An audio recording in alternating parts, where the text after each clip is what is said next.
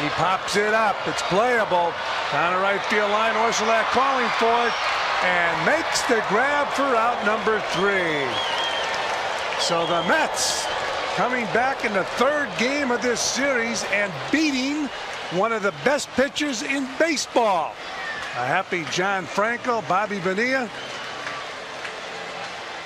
The Mets congratulating one another on the field here at Fulton County Stadium where the Mets on the Modell scoreboard just beat the Braves. Final score Mets 5 Braves 2